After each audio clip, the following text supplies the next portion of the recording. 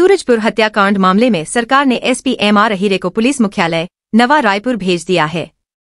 इस पर पूर्व मंत्री और विधायक अजय चंद्राकर ने कहा कि उन्हें पहले ही हटाया जाना चाहिए था।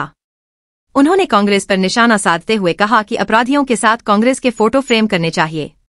साथ ही चंद्राकर ने कांग्रेस की चुनावी स्थिति और भाजपा संगठन चुनाव पर भी अपनी राय व्यक्त की। सरगुजा विकास प्राधिकरण की बैठक और डीएड अभ्यर्थियों के घेराव के मुद्दे पर भी उन्होंने अपने विचार साझा किए करना चाहिए कितने सदस्य बने कौन कौन बने क्या बने किस तरह से बने आदरणीय पंडित जी, मैंने अभी एक बात कही सम्मानित पत्रकार साथियों से। एक पायलट प्रोजेक्ट में कुरुत का अध्ययन कर लीजिए।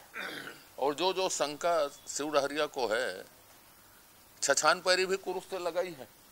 वो जो मोटरसाइकिल से जा सकते हैं, कचना गाँव और छछान पैरी की दूरी पंद्रह किलोमीटर होगी। अभनपुर उसका मुख्य इलाका है। अध्ययन कर ले वो जाके पूछ ले जो जो शंका है उसको। जन अदालत लगा ले, भाई, आप लोग कैसे सदस्य बने? कितना पैसा मिला? क्या नहीं मिला? कैसे हुआ? तो ये बकवास से मुक्ति हो जाएगी उनको। उनकी आत्मा को शांति मिल जाएगी कि मैं अब अगली बार फर्जी आरोप नहीं लगाऊँगा करके।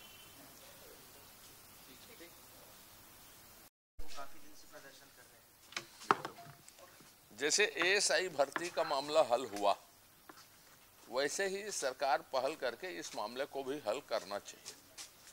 और उन लोगों को भी धैर्य बनाना चाहिए। एएसआई की परीक्षा के लिए जो लोग थे रिज़ल्ट के लिए, वो सारी चीज़ों में जैसे निर्णय हुआ, इसमें भी सरकार कभी ना कभी निर्णय करेगी। ठीक है, लोकतंत्र में नौजवान थोड़ा आग्रही होते हैं और उनको उतना करने का अवसर मिलना चाहिए।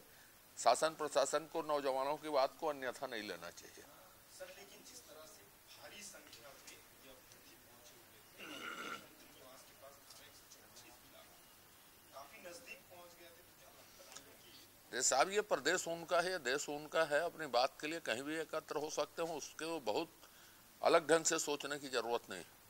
ये आप लोगों का जो सदस्यता अभियान चल रहा है उसका अभी सक्रिय सदस्यता के बाद संगठन चुनाव होंगे और देखिए आप उम्मीदवार खोज रहे हैं हमारे निर्वाचन अधिकारी तय हो गए संगठन चुनाव के। रायपुर दक्षिण में आप कांग्रेस के उम्मीदवार खोज रहे हैं। सुप्रीम कोर्ट ने ईडी को फटकार तेजा की गिरफ्तारी जो है गलत ढंग से की गई थी।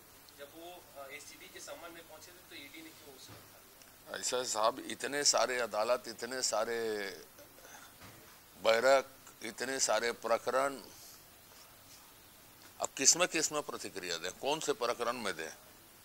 यहाँ तो एक खत्म होता है, दूसरा दायर हो जाता है, दूसरा खत्म होता है, तीसरा कारनामे इतने हैं कि किसमें किसमें प्रतिक्रिया दें? इसलिए जो चल रहा है, वो सही है।